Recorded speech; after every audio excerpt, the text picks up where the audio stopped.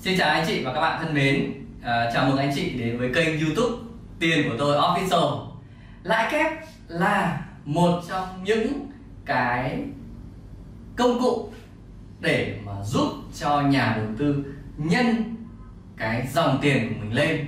Tuy nhiên để hiểu lãi kép trong các cái tình huống cụ thể thì Hoàng nghĩ rằng là rất ít người chia sẻ với anh chị và các bạn.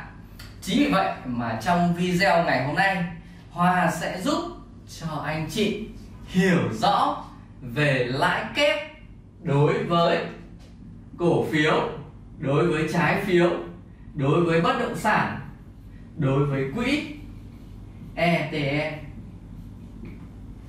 Đây là bốn cái tài sản tài chính mà anh chị cần phải nắm rõ khi mà hiểu về lãi kép Xin mời anh chị và các bạn hãy xem cái video minh họa chi tiết của Hoàng. Nhưng trước hết, chúng ta cần phải hiểu về lãi kép là gì. Đã anh chị các bạn nhé. Anh chị chỉ cần dành ra một phút để Hòa mô phỏng cho anh chị về cái khái niệm này thôi đã anh chị nhá.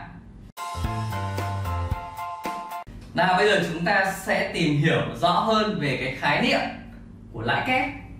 Lãi kép là gì? Kép là phải là hai, đúng không? Phải hơn hai thế thì à, à, chúng ta sẽ à, hiểu rõ về nó như thế nào đúng không ạ? Vậy thì lãi kép nó sẽ bao gồm là gì?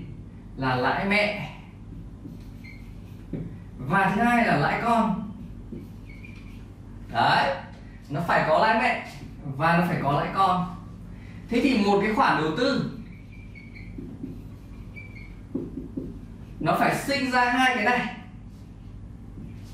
thì nó mới xác định được lãi kép. Và cái lãi con này, nó được sinh ra từ lãi mẹ. Và lãi mẹ được sinh ra từ khoản đầu tư. Đó, anh chị các bạn ạ. Thì như vậy, cái này mới gọi là lãi kép. Trên cái sơ đồ như thế này, anh chị dễ dàng hiểu về lãi kép. Và tất cả các cái khoản đầu tư khác mà anh chị tìm hiểu muốn biết là có lãi kép hay không thì phải xác định được là lãi mẹ của nó là cái gì, lãi con của nó là cái gì. Cụ thể như vậy, anh chị và các bạn nhé xin mời anh chị và các bạn hãy xem chi tiết và minh họa cho anh chị và các bạn hiểu lãi kép về cổ phiếu, về trái phiếu, về bất động sản, về quỹ đầu tư rất là trực quan. Và để anh chị dễ hình dung. Trước hết thì anh chị hãy thả dung hòa cái like đi ạ, để lấy động lực để chúng ta cùng xem cái video rất hay rất hay rất hay chi tiết này anh chị các bạn nhé thực sự là à, Hòa nghĩ là không có ai chia sẻ cái này với anh chị các bạn đâu bởi vì Hòa xem hết rồi. Tất cả trên YouTube rồi không ai chia sẻ cái thực tế như thế này. Vì vậy mà Hòa làm cái video này để giúp cho các thành viên trên kênh YouTube tiền của tôi official hay ở trong nhóm Zalo về đầu tư tích lũy tài sản của Hòa và tất cả cộng đồng đều biết được cái thông tin chi tiết về lãi kép về các tài sản đầu tư anh chị các bạn nhé xin mời anh chị các bạn. Xin chào anh chị và các bạn thân mến. Bây giờ thì mình sẽ bước vào một cái chia sẻ rất là chi tiết cho anh chị và các bạn về cái lãi kép của cổ phiếu, trái phiếu, bất động sản và quỹ ETF nhé ờ, Trước hết thì chúng ta sẽ giả định đi. Giả định đúng không? Giả định các cái thông số là về số tiền đầu tư là 100 triệu đúng không ạ? Đấy. Và chúng ta sẽ tiếp tục à, à, đầu tư các cái số tiền này vào các cái tài sản à, như trái phiếu hay bất động sản như ETF nhá. À, với cổ phiếu thì sao? Bây giờ phương án đầu tiên là cổ phiếu này. Số tiền đầu tư cổ phiếu là 100 triệu mệnh giá là 10.000 đồng. Giả sử tỷ lệ chi trả cổ tức là 20 phần trăm. Và giá thị trường khi đầu tư là 17.000 đồng đúng không ạ? À, cổ tức cổ phiếu là 2.000 đồng. Vậy thì số lượng cổ phiếu nắm giữ là 5.882 đồng thì các bạn lấy 100 triệu này các bạn chia cho 17 ngàn thì nó ra số này thôi đúng không ạ? Tổng giá trị cổ tức nhận được thì sẽ bằng là 11 triệu 764 ngàn 706 đồng. Thì anh chị các bạn lấy uh, số lượng cổ phiếu này nhân với cả cái cổ tức trên cổ phiếu nó sẽ ra được cái uh, tổng giá trị cổ tức mà mình nhận được trong một năm. Thì cái cổ tức này mình lại tái đầu tư ngay đúng không ạ? Mình tái đầu tư. Thì mình giả sử như là lại tái đầu tư là 8% vào cái quỹ TCBF nhá đây là quỹ của Techcom Security đấy ạ. Thế thì à, chúng ta sẽ đầu tư trong vòng à, 60 tháng là 5 năm đúng không ạ? 5 năm. Mỗi một năm thì chúng ta sẽ đều nhận một cái lãi mẹ là 11 triệu 764 ngàn 706 đồng. Và chúng ta tái đầu tư cái lãi mẹ này vào cái quỹ TCBF đúng không ạ? Thì sau một năm đầu thì chúng ta có từng này tiền. Năm thứ hai thì chúng ta cộng dồn cái lãi mẹ vào và chúng ta lại lấy cả lãi con cộng dồn vào thì chúng ta có cái lãi tái đầu tư đây. Lãi tái đầu tư đây lãi tái đầu tư đây. Và tổng lãi tái đầu tư là hơn 10 triệu 195 ngàn 305 đồng, đúng không ạ? Tổng lãi mẹ và lãi con sẽ ra 69 triệu 018 ngàn 835 đồng. Như vậy là anh chị các bạn nhìn thấy cái lãi kép chưa đó, đấy, lãi kép bằng lãi mẹ, bằng cộng với cả lãi con đấy. Đây là khi đầu tư cổ phiếu anh chị các bạn nha à, bây giờ à, đối với trái phiếu thì sao? Lãi kép của trái phiếu sẽ được tính như thế nào đúng không? Vẫn với số tiền là 100 triệu đồng lãi trái phiếu là 8% trên năm và lãi tái đầu tư trái phiếu là 6% thời gian đầu tư cũng là 60 tháng 5 năm đúng không ạ? Và lãi trái phiếu thì sẽ trả hàng quý anh chị các bạn nhé. Đó. Thế thì uh, chúng ta sẽ có khoảng độ 20 kỳ đúng không? Có 20 kỳ. Đó. Và uh, chúng ta số tiền đầu tư hàng tháng là 100 triệu và cái lãi hàng quý mà chúng ta sẽ nhận được này chính là cái lãi mẹ này, là 2 triệu đồng. Và cái uh, lãi con đấy lãi con chúng ta nhận được này. Cách tính giống hệt như cổ phiếu. Đó đúng không ạ? Chúng ta lấy cái lãi mẹ này chúng ta tái đầu tư 6 phần trăm này này thì chúng ta sẽ ra được cái lãi con. Đây 30.000 đồng. Đó đúng không ạ? 60.000 đồng 91.000 đồng vân vân và cộng lại thì nó sẽ ra là 6 triệu 247 ngàn 334 đồng.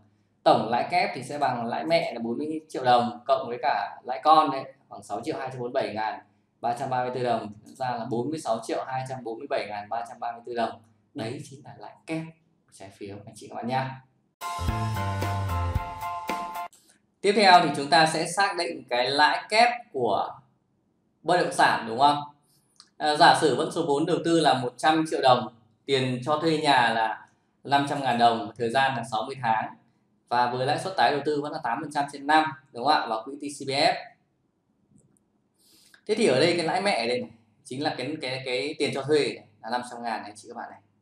Sau đấy thì mình tái đầu tư cái lãi mẹ này, này đúng không? Mình tái đầu tư cái lãi mẹ ở quỹ TCBF thì mình ra một cái lãi con này. Đấy mình ra một cái lãi con đây đúng không ạ? Và à, lúc này chúng ta sẽ có lãi mẹ là 30 triệu đồng và lãi con là 6 triệu 983 ngàn 351 đồng. Và nó ra được một cái lãi kép là 36 triệu 983 ngàn 351 đồng đúng không ạ? Đấy chính là lãi kép về đầu tư bất động sản của anh chị các bạn ạ? À, rất là dễ đúng không ạ? Anh chị thấy có hay không ạ? Nếu hay thì thả cho Hoàng cái like nhá thả vào tim nhá. Nếu mà muốn nhận các cái video khác thì anh chị có thể đăng ký ngay luôn ở dưới đó để tiếp theo Hòa sẽ trình bày tiếp cho anh chị các bạn về à, về cái lãi à, quỹ ETF nhá đây là lãi kép quỹ ETF này các bạn này. Đó với với số tiền là 100 triệu đồng mệnh giá là 10.000 đồng tỷ lệ chi trả cổ tức là 15% giá thị trường à, Hòa giả sử là 25.000 đồng đúng không ạ? Cổ tức trên cái à, cổ phiếu là 1.500 đồng. À, số lượng cổ phiếu đang nắm giữ là là 4.000 cổ phiếu tổng giá trị cổ tức nhận được là 6 triệu đồng đúng không ạ? Anh chị các bạn lấy à, cổ tức nhân với cả cái số lượng cổ phiếu này này đấy nó sẽ ra được là 6 triệu đồng. Đó, và lãi tái đầu tư cổ tức 8 phần trăm đúng không ạ? Và anh chị các bạn nhìn thấy là đây là chính là cái lãi mẹ này. Đấy cái lãi mẹ nó chính là cái cổ tức hàng năm đó. Và nó sinh ra cái lãi con này. Đó, lãi con thì chính là, là tái đầu tư cái cổ tức này. Đấy, hàng năm này chúng ta tái đầu tư chúng ta sinh ra cái lãi con này từng này 5 triệu 199 ngàn 606 đồng. Và tổng số tiền mà chúng ta đầu tư là 35 triệu 199 ngàn 606 đồng gồm lãi mẹ và lãi con anh chị các bạn nhé anh chị nhìn cái phương án này nó giống như là là là, là cổ phiếu đúng không? Bởi vì quỹ ETF thì bản chất nó cũng giống như một cổ phiếu thôi cũng chẳng khác gì cả đúng không ạ? Anh chị thấy uh, ok với bốn phương án chưa ạ? Đấy, cổ phiếu này trái phiếu này. À, bất động sản và quỹ ETF đó. Ok, như vậy là Hòa đã vừa mới chia sẻ rất là chi tiết cho anh chị và các bạn về cái lãi kép rồi đấy lãi kép về à, cổ phiếu, trái phiếu, bất động sản và à, quỹ ETF đúng không anh chị và các bạn? À, nếu anh chị và các bạn à, thấy à, cần phải bổ sung các cái lãi kép của các cái sản phẩm tài chính nào thì comment ở dưới phần bình luận giúp Hòa nhá. Hoặc là anh chị có những câu hỏi nào thì có thể là comment dưới phần bình luận cho Hòa để Hòa biết được đúng không ạ? À, xin cảm ơn anh chị và các bạn đã dành cái thời gian lắng nghe về cái lãi kép mà Hòa chia sẻ rất là thực tế đúng không ạ thực tế mà chúng ta đang sử dụng hàng ngày đó ạ và nếu anh chị và các bạn muốn nhận nhiều hơn các video khác mà Hòa chia sẻ các cái trải nghiệm thực tế của mình về đầu tư tài sản thì hãy đăng ký kênh và nút nút chuông anh chị các bạn nha. Xin chúc anh chị và các bạn à, sẽ luôn đầu tư may mắn, gặp nhiều thành công và à, bình an trong cuộc sống. Xin chào anh chị và các bạn.